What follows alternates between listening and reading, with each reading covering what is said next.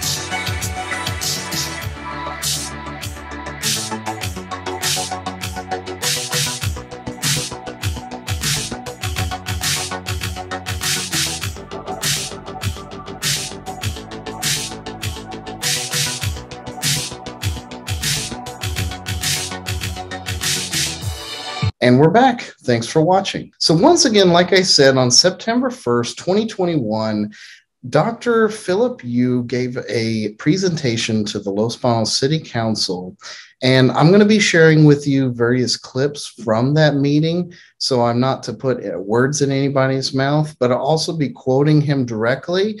This is not my opinion, and I'm not going to be giving you uh, really national data, etc.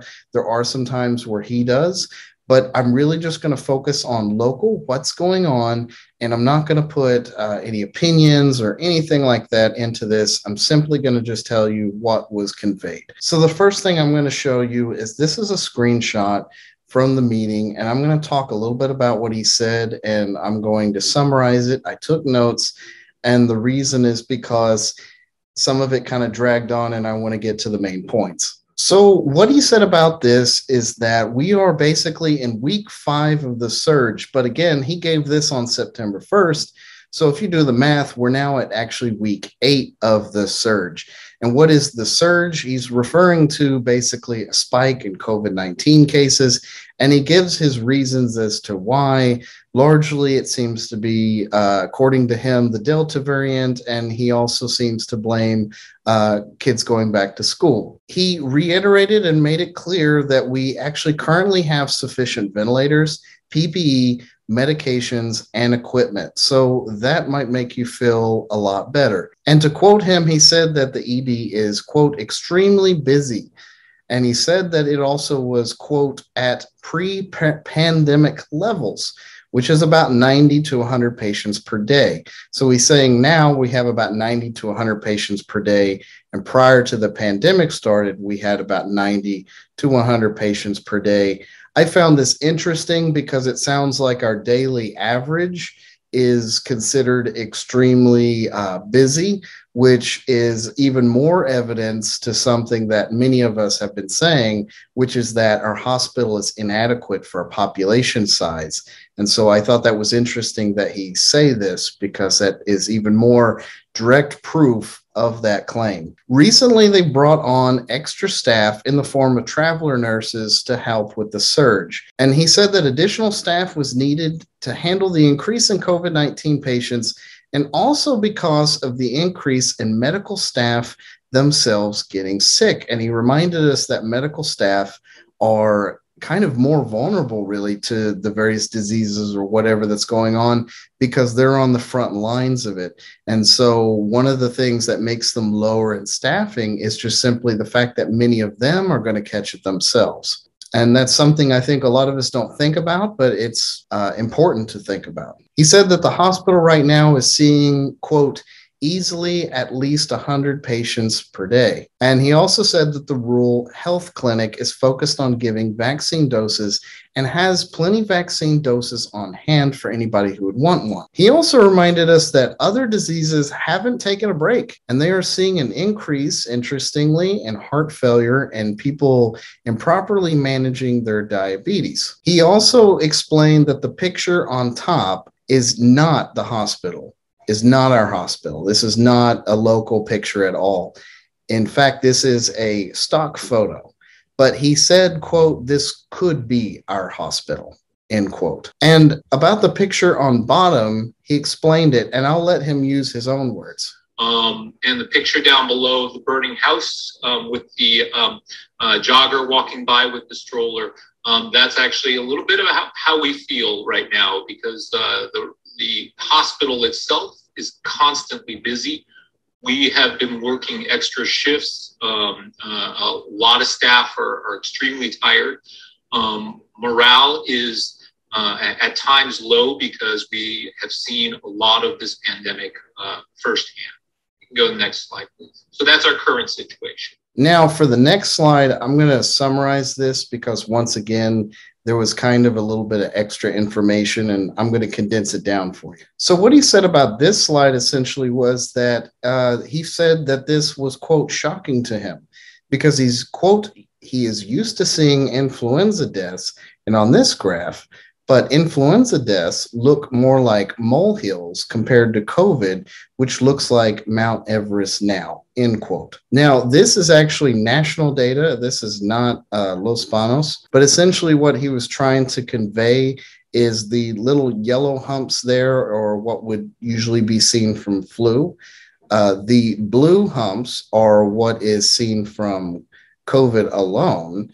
And then the red line, which is referred to as PIC, Councilwoman Deborah Lewis asked about this, and it stands for pneumonia, influenza, and COVID combined. So as you can see, the red line um, is very close in most of the cases to the uh, blue area, meaning that the contribution overall to the deaths is primarily COVID and influenza and pneumonia are lesser contributing factors, but still are adding to the number of overall deaths. He said something interesting about pediatric cases being on the rise, and I'm going to just allow you to listen to what he said himself.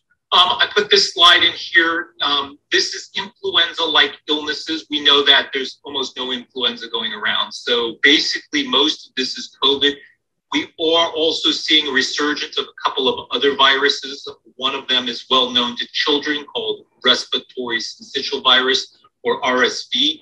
Um, that is starting to also take off. But the key here is that over the last few weeks, and you can see into week 30, what's called week 31 of the um, CDC's guide, uh, uh, graphing, um, starting somewhere around actually week 10, there was an influx or increase in the number of pediatric uh, influenza-like illness cases. These are almost all due to COVID. Um, you can also see since about week 26, um, an in, uh, a gradual increase in the 25 to 24, 25 to 49. All basically all age groups have started to climb back up um, with uh, influenza-like illness. Again, is not influenza. These are likely COVID patients um, displaying uh, symptoms because it is all very similar. Um, but the, the shocking part for me was that uh, pediatric age group um, uh, that's been going up. That is the age group, of course, that cannot be immunized at this point. Um, so, uh, and that's what you would expect. But also, the impact that I wanted to point out is that children have now returned to school. Um, we know that every August, September, October, um, childhood illnesses, infectious diseases go up naturally because children are now commingling, mixing in, uh, in the school setting. Um, and we should expect that. But that also means that they'll bring it home. And, uh, and so we're watching for that as well. Next slide, please. Okay, so what's going on in our county? Um, and uh, I know you guys are probably familiar with the uh, public health site. Um, so I'm not going to focus on uh, everything on this graph. Um, I do want to focus on a couple things. The um, percent of fully vaccinated individuals. And the reason why that is actually a big uh, marker for us in, in healthcare is because um, at 34.8, that means about 60, uh, 65, 66% are, are not vaccinated. Um, that is the potential uh, for us to uh, see patients. Um, so at a fairly low vaccination rate in the county means that we'll have more cases in the hospital.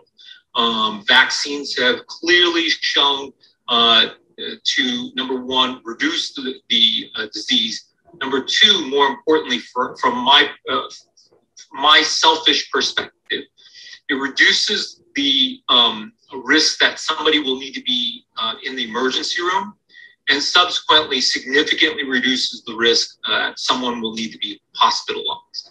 Currently, you may have heard that the pandemic that we're experiencing, or the surge that we're experiencing now, is a pandemic of the unvaccinated. I will tell you that is exactly true. Um, uh, of our patients, approximately about 89% that are admitted to the hospital are unvaccinated. Of the 11% that are vaccinated, their disease is much milder. They wind up getting out after a few days. We just want to bring them in, give them some medications, make sure that they don't progress. Of our mortalities, which have suddenly spiked, uh, and I must tell you, they aren't the 75 year olds anymore. The first go around, we, we had a lot of 65, 75 um, year olds with multiple comorbidities. The average day for me um, and for our staff is that each week we're coding, uh, I'm sorry, um, we're uh, uh seeing two or three um, 45, 39, 52 year olds who have a lot of life in front of them. Um, come in deathly ill and, and code. Um, by code, I mean die. Um, so that has become our reality. Um, uh, and, uh, and that's what we are actually seeing in house on a regular daily basis. So to recap some of the stuff that he was saying, which I think that you really should have picked up on and probably did, is that unlike before, it's not just elderly, it's not just people 75. They're actually seeing here in our local hospital people dying in their 30s, 40s, and 50s. And he was saying that they're dying now at a higher rate at about two to three per week. He also says later on in this presentation that they have up to this point in entirety have had 56 deaths here at the Los Banos Memorial Hospital. That's not counting other clinics, but that's counting at the hospital. Out of those deaths, 14 of which have occurred in the last five weeks. So you can do the math and think about it. But basically, that's a pretty big spike in deaths that have happened very recently. And of course, the argument is, is that this is due to the Delta variant. Now, he goes into more detail as to the Delta variant, the differences, but there was something interesting that he brought up that I thought was useful for uh, you to know. So, once again, this is a screenshot from the slide. I'll just break it down for you simple. It was rather interesting. So, R naught is the uh, terminology and the word, it's a value system. So, uh, five would be the R naught of Delta, and three would be the R naught of the Alpha variant. What R naught means is basically how many people that you are expected to infect if you yourself was to get infected with this variant. So it's basically a measure of how infectious something is. He gave us a baseline and he said influenza has an R naught value of about 1.3. So, to give you an idea of how infectious it is. Now, interestingly, these numbers are actually based on the fact that the United States is largely vaccinated. So, these numbers don't really apply actually if a large population is not vaccinated or if you're in an area with low vaccination rates like ours, which is in the 30 percentile range. He explains in this presentation and on this slide that uh, an R naught value for an area or a person who's unvaccinated is actually about seven to 10. So, what was interesting is that if you're not vaccinated, you actually spread the disease for twice as long. You're contagious for about twice the amount of time, and you spread it to about double the amount of people. And on top of that, your likelihood of being hospitalized, according to the Los Banos data only, I'm not going by national data, I'm just talking about what's occurred here in front of our face. Out of the uh, cases he's had, he was saying 89% was unvaccinated and 11% was vaccinated at terms of hospitalized. So that essentially means that your odds would likely be about nine times uh, greater than if you were vaccinated based on that math and that math alone. Fully vaccinated people can still spread the virus but they do so for a much shorter amount of time. So, in other words, half as contagious. I found this interesting because I've often heard the argument on social media if I can still spread the virus with the vaccine, then why should I get the vaccine? And how does me getting the vaccine help you if I can still spread the virus with the vaccine? Well, here's your answer. One, you save up hospital resources for people by being less likely to go to the hospital, according to the data we just saw. And the other reason that it helps everybody actually is because you're half as likely to spread it to other people and would statistically spread it to half as many people. So, yes, you are still capable of spreading the virus, the Delta variant, even if you're vaccinated. This is fact. This is true. But it's 50% less. I'm not going to guilt you or encourage you to even get the vaccine. I'm not doing that with this. Instead, I'm just simply giving you the facts and what is happening here in the town and what the data suggests. So take it or leave it. You're entitled to your own opinion. You're not entitled to your own facts. These are the facts. You can take it for what it's worth or not. That's up to you. But if me sharing these facts with you has offended you, don't expect an apology and feel free to write your nasty, angry comment in the comment section below. Now, another question, which I think is something that we obviously would want to know and was asked in the meeting, was how many cases are you seeing of COVID 19, right? He's, so basically, the answer was this from Dr. Yu. They get about 100 to 90 patients per day. Out of those, about 40 to 30 of them are screened as being possibly COVID cases. Now, out of those 30 to 40, they have a positivity rate of about 13 to 20%. Now, I know those are pretty big swings and it's not a specific number. Don't worry, I did the math for you. So I took the averages of the numbers that he was giving out. And so the average of 30 and 40 is, of course, 35, along with the average of 13 and 20 being 16.5 or 16 and a half. I then calculated what 16.5% is of 35. And the answer rounded to the nearest tenth is 5.8. So, in other words, about six people test positive for COVID every day at the Los Banos Memorial Hospital. But that is not including the other clinics in the city. That's only speaking to Los Banos Memorial Hospital. Someone else asked about the local mortality rate from COVID 19, and he said that he didn't have the answer offhand. He did say that it is something that they do, in fact, track and that he would later provide. But what he could tell us at that specific time was hard numbers.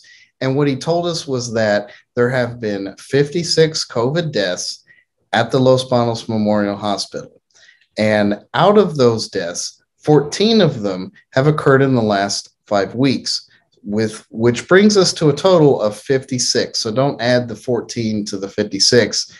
It's 56, and then 14 of which has occurred in the last five weeks. And of course, now it's actually been eight weeks. And so, of course, that number is higher, but this is as of September 1 of this year. And if you do the math and you divide uh, 14 over 56, what you come to is a very even 0.25, meaning that 25% of all of the pandemic related deaths have actually happened in the last five weeks as of September 1. And the chart was trending in the upward direction.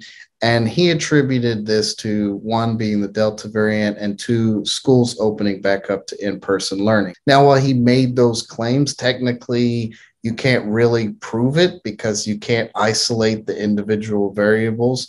But in reality, the thing is, is that life is kind of messy and it's often impossible to run uh, lab type experiments and where we could uh, test it with only school opening or test it with only delta or test it with only mask and unmask so the reality is is that type of single variable scientific method which would be convenient and we'd love to do is not actually practical in real life and we have to just go with what we see but keep in mind, correlation doesn't necessarily always mean causation.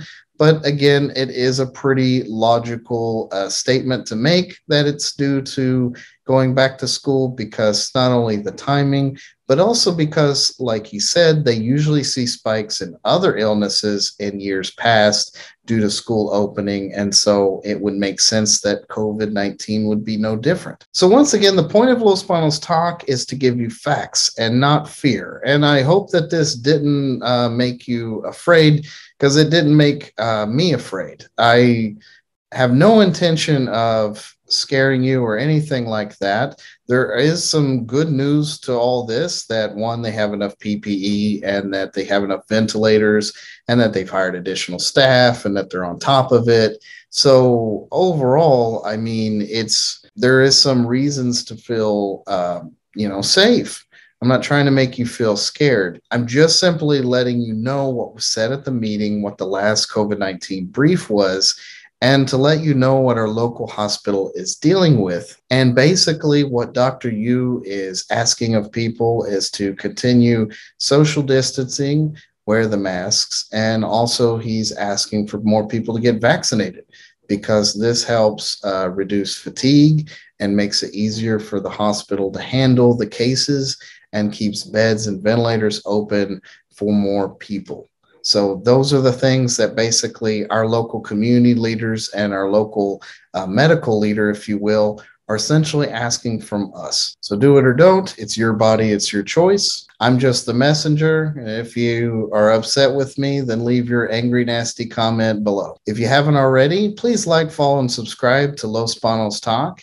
And I also want to let you know that you can subscribe to losbanostalk.com, get all my videos uh, straight to your email address. So you don't have to worry about the Facebook algorithm or Instagram newsfeed uh, delivering you the content that you need. Instead, you'll get it sent straight to your email and you'll never miss a moment. You can also go and look through past videos in a very easy and organized way on the website as well. And there's also a mobile app that you can download totally for free. Once again, my name is Justin Collins, and I hope you have a wonderful rest of your day.